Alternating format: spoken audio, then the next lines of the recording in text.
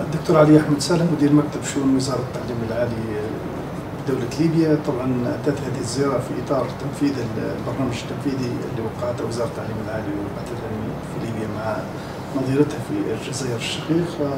بالتأكيد هذه هذا الإطار يمنح لكل الجامعات الليبيه أن هي تتعاون مع نظيراتها من الجامعات الجزائرية.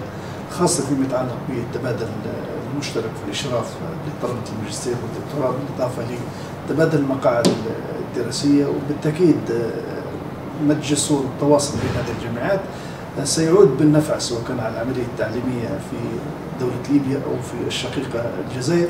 نتمنى لكل فريق العمل سواء كان من جامعة الزاوية أو من جامعة جانما ان هم بالفعل يكون بعد توقيع هذه الاتفاقية برامج عمل حقيقية وتنفيذ لما يتوصل إليه من الاتفاق. أتمنى التوفيق للجميع إن شاء الله.